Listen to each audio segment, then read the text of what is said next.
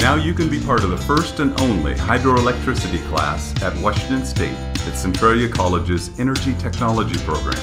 The class was developed with the help of partners such as Tacoma Power, Puget Sound Energy, Lewis County Public Utility District, Avista Utilities, the International Brotherhood of Electrical Workers, Centralia City Light, and the Center of Excellence for Clean Energy. Enroll in the Energy Tech program at Centralia College and be part of Washington State's only hydroelectricity class. This is your chance to begin working your way toward a new career in the electric utility industry.